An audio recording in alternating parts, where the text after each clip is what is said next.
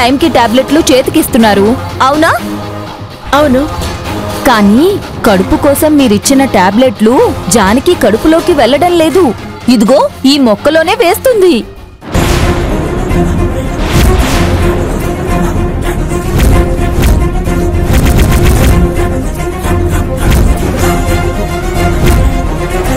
నీ మొహంలో కూడా సంతోషం చూడాలని ఆశ.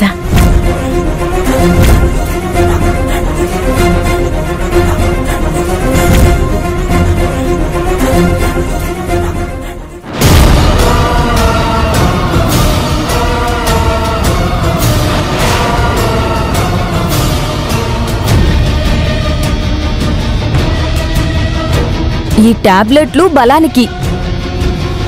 చూసారా? మొక్క ఎంత ఏపుగా పెరిగిందో? జానకి కడుపున కాయ కాయకపోయినా ఈ మొక్క మాత్రం చక్కగా ఎదిగిపోతుందండి. జానకి ఇలా ఎందుకు చేసింది? ఎందుకా? పిల్లలు వద్దు అనుకుంది కాబట్టి. తల్లవ్వడం ఇష్టం లేదు కాబట్టి. మీరు నా మాట నమ్మరు గాని జానకిలాగా నేను నిజాలే మాట్లాడతాను అత్తయ్య గారు. విషయం ఏంటి అంటే మీ జానకి దృష్టంతా ఐపీఎస్ అవ్వడం మీదే ఉంది. ఎవరైనా ఇంట గెలిచి రచ్చ గెలవాలని అనుకుంటారు. కానీ జానకి మాత్రం ఇంటి సంగతి పక్కన పెట్టేసి రచ్చ గెలవాలని పట్టు పట్టుకొని కూర్చుంది. అందుకే పిల్లలు వద్దు అని అనుకుంది. టాబ్లెట్లు వేసుకుంటున్నట్టు నాటకం ఆడుతుంది అత్తయ్య గారు.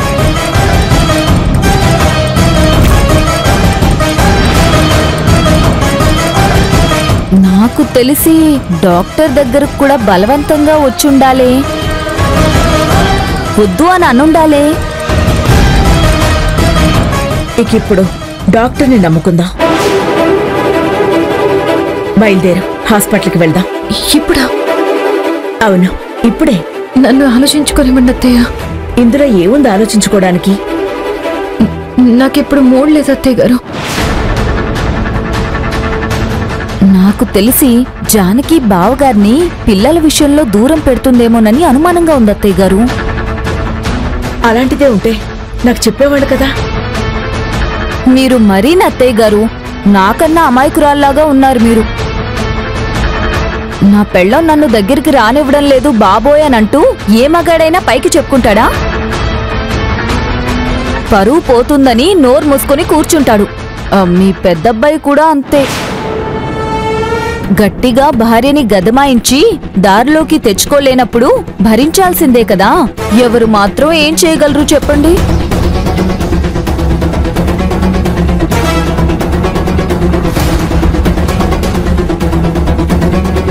అత్తయ్య గారు ఒక్క నిమిషం. ఏం చేద్దాం అనుకుంటున్నారు అత్తయ్య గారు? వెళ్ళి జానకిని నిలదీస్తాను. హా? ఇప్పుడు నిలదీసి ఏం లాభం? దొరికిపోయాక ఎదురు తిరుగుతుంది. ఇప్పట్లో పిల్లలు వద్దు అని అంటుంది. తనిష్టం కాదు. నా ఇష్టం. మాట వినకపోతే ఏం చేస్తారు అత్తయ్య గారు? ఇల్లు వదిలి పొమ్మంటాను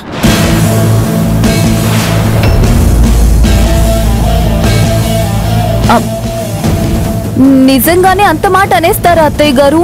పెద్ద కోడలు కదా. నా మాట విన్ననప్పుడు ఎవరైనా నాకొకటే. హా?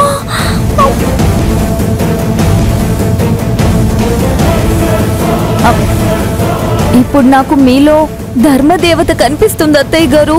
ఇదే ఊపు కంటిన్యూ చేయండి. అస్సలు తగ్గకండి అత్తయ్య గారు. అప్పుడే జానకి దారిలోకి వస్తుంది.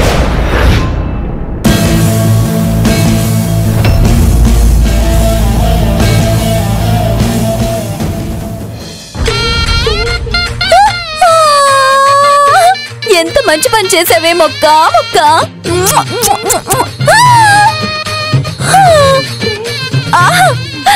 ఇప్పుడు కదా నాకు తృప్తిగా ఉంది. టైం వచ్చినప్పుడు ఆటం బాంబ్ లాగా వాడదామని మొక్కల్లో టాబ్లెట్లున్న నిజాన్ని కడుపులోనే దాచుకున్నాను. ఈ రోజుతో పగ తీర్చుకుంటున్నాను. మా పోలేరమ్మకి జానకిని బలిస్తున్నాను. అమ్మో ఇక్కడే ఉంటే గనక లోపల సినిమాని మిస్ అయిపోతాను. జానకి కలగనలేదు. అమ్మా వెన్నెలా? ఒకసారి మీ అమ్మగారిని పిలిస్తే చెప్పి వెళ్తాం. అలాగే.